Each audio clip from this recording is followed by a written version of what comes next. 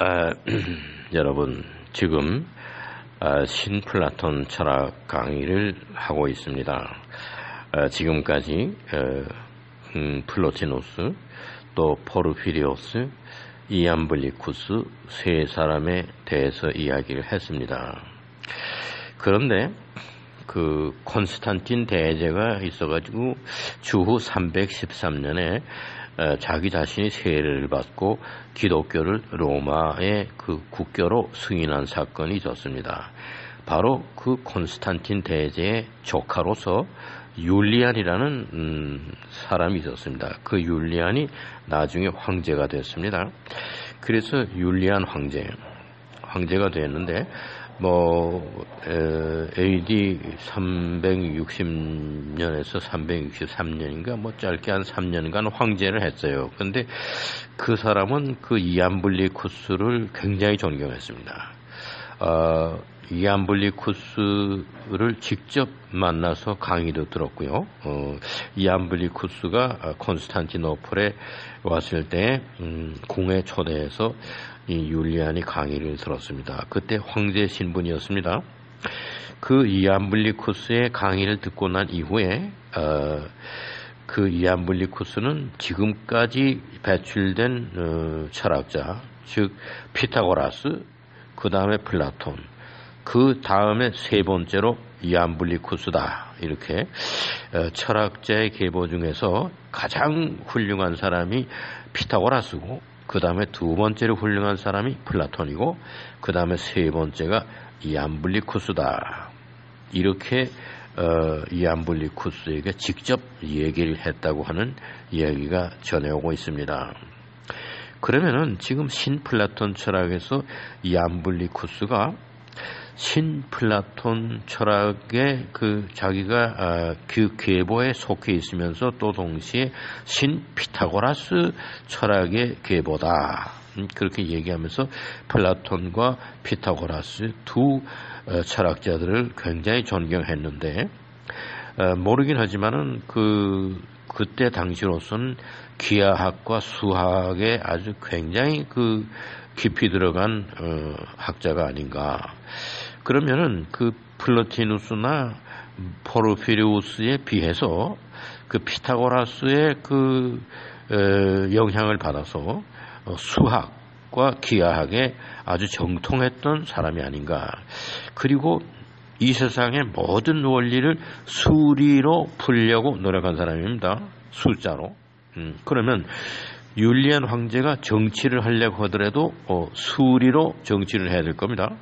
그래서 이안블리쿠스가 윤리, 윤리에 있어서도 윤리에 있어서도 숫자가 중요하고 어, 윤리 도덕에서도 숫자가 중요하고 물리학에 있어서도 숫자가 중요하고 형이사학 메타피직에 있어도 숫자가 중요합니다. 천문학 아스트로노미도 숫자가 있어야 되는 것이고 인간 사회에서 서로 커뮤니케이션을 주고받는데도 숫자가 중요한 역할을 합니다. 또 하나님을 이해하는 것도 수리 철학으로 숫자의 이치를 가지고 하나님을 이해할 수가 있는 겁니다. 그래서 그 수리 철학에 대해서 깊이 들어간 사람이다 보니까 황제 신분이었던 율리안 황제가 이 얌블리쿠스를 거의 뭐 자기 개인적인 고문으로 추대하고 존경하고 자기 생각에는 피타고라스와 플라톤 그 다음에 세 번째 훌륭한 철학자가 이암블리쿠스다 이렇게 황제의 입장에서 이야기할 정도입니다. 그렇다면은 이암블리쿠스의 인품이라든가 이암블리쿠스의 그런 지적인 수준이라든가 이암블리쿠스의 모든 그, 그, 언행이 일치되는 거란가 윤리적인 면이나 또는 그 학문적인 면이나 이런 데서 굉장히 빼어난 학자였음이 틀림없습니다.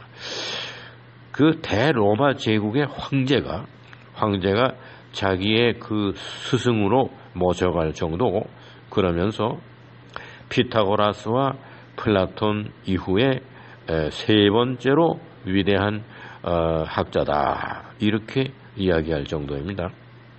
그러면 앞에 이 암블리쿠스의 그 수학적인 수리 철학적인 어, 그러한 이야기를 말씀을 드렸는데 비교적 포르피리우스보다는 보다는 이암블리쿠스의 그 작품은 글을 쓴 거는 많이 남았습니다. 자기 고향인 시리아에 가서 학교를 설립했기 때문에 그 학교의 도서관에 자기가 쓴 글들이 많이 보존되었습니다. 그리고 이 사람은 당시에 그 율리안 황제로부터 인정받아서 콘스탄티노플에서 굉장한 그 인정을 받고 또 모르긴 하지만은 경제적으로도 풍요로웠을 겁니다. 황제가 굉장히 많이 경제적으로 도왔을 겁니다. 그래서 시리아에 있는 자기의 아카데미 그 학교도 굉장히 융성했었고 자기 자신의 신념을 피력해서 어, 율리안 황제를 거의 신플라톤 철학의 그 제자로서 자기 제자로서 교육시켜서 굉장한 그 영향력을 행사했던 사람입니다. 우리가 알려진 사람으로서는 플라톤, 아리스토텔레스, 뭐 소크라테스 그렇습니다. 또 플로티누스. 그러나 포르피리우스만 하더라도 잘 모릅니다. 어, 그 사람이 대학자였다는 것은 우리가 짐작이 가지만 남은 글이 남아나는 게 거의 없습니다. 그런가 하면은 물론 그 포르피리우스가 피타고라스의 생애라는 글을 쓴 건 남았어요. 그러나 이암블리쿠스가 다시 피타고라스의 생애를 기록한 글은 아주 그 좋은 글이고 어, 그것이 남아 있고 또 이암블리쿠스가 생각했던 거 자기가 쓴 글들은 거의 다 아주 그대로 남아 있습니다. 모르긴 하지만은 그 로마의 황실에서 어, 존경했었기 때문에 어, 그 이암블리쿠스의 작품과 그런 것은 소중하게 그 콘스탄티노플에서도 생각되었을 겁니다. 그러면 우리가 신플라톤 철학자 중에서 아주 그 시간적으로 봐도 어, 그 플로틴보다 한 100여 년 음, 그 이후에 나온 사람이고 또 포르피리오스의 그 어, 학문적인 분위기 이런 것을 전수받아 가지고 어, 말하자면 그 신플라톤 철학의 계보 그것은 플로티노스의 엔네아데스 또 포르피리오스의 많은 그 이사고게의 그 개, 개념적인 서술 또 commentary 이런 것들을 통해서 이암블리쿠스가 굉장한 그 학문적인 수준에 달해 있었던 것만 틀림없습니다. 거기에다가 신 플라톤 철학만이 아니라 신 피타고라스 철학에도 상당한 경지에 몰입해 있었습니다. 따라서 이암블리쿠스 그 사람의 이름이 플라톤이냐 아리스토텔레스만큼 플로티노스만큼 어, 우리에게 에, 유명하게 그 전해오지 않지만은 않지만은 그 율리안 황제가 그 존경했던 어느 정도로 이 이암블리쿠스를 존경했는가 그거는 그 율리안 황제의 그 표현에 달린 겁니다. 즉 피타고라스와 플라톤 그 다음에 세 번째로 어, 훌륭한 철학자이다. 그, 그것이 이암블리쿠스입니다. 이렇게 생각할 정도라고 하면은 이암블리쿠스의 소위 플라톤을 이해하고 또 피타고라스를 이해한 경지가 어느 정도 높은 경지였느냐 그런 것을 우리가 미루어 짐작할 수가 있습니다.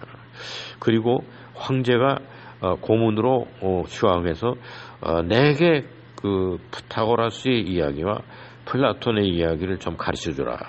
이렇게 할 정도니까 이 이암블리쿠스의 그 소위 피, 피타고라스에 대한 연구 또 플라톤에 대한 연구 어, 단순히 생애만을 알고 있은 게 아니라 피타고라스의 수리 철학 피타고라스의 수, 숫자에 의한 철학 그거에 대해서 굉장히 깊이 들어갔고 또 숫자에 의한 우주에 관한 이해 또 숫자를 통한 모든 통계 숫자와 이런 거를 통한 이 지상에서의 인간 사회에서에 대한 규명 이런 것에 대해서 그때 당시로서는 획기적인 그런 그 지식 지식을 가진 사람이 아니었겠나 이렇게 추측해 봅니다. 그러면 이암블리쿠스라고 하는 이름은 철학사나 뭐 역사에 있어서 그렇게 유명한 이름으로 전해오지 않습니다. 다만 어, 로마의 그 황제의 자리에 있었던 율리안 황제가 어, 스승으로 모시고 그 율리안 황제가 피타고라스와 플라톤 다음에 세 번째로 가는 대학자다 이렇게 여길 정도면은 우리에게 그렇게 어, 큰 학자로 전해지지 않았다고 해서 어, 우리가 모른다고 해서 없는 것은 아니죠. 음, 한때 신플라톤 철학의 계보 속에서 플로티누스도 중요한 사람이고 포르피리오스도 중요한 사람이지만은 어, 아주 어, 중요하지만은 이, 이암블리쿠스가 굉장한 그, 그 지위에 있었다. 어, 그때 당시 학자로서 또는 그 교육자로서 또는 정치가로서 어, 상당한 영향력을 가졌던 신 플라톤 철학자가 아니었겠는가 이러한 생각을 해보는 것입니다. 이제 신 플라톤 철학의 계보에서 마지막 사람이 남았습니다. 그 사람은 프로클로스입니다. 프로클로스에 대해서는 좀 많은 이야기를 해야 될 것 같습니다. 그래서 지금까지 신 플라톤 철학을 네 번 강의를 했으나 앞으로 한 두 번 내지 세 번 정도 프로클로스에 대해서만 집중적으로 어, 강의를 하려고 합니다. 오늘은 이만 하겠습니다. 감사합니다.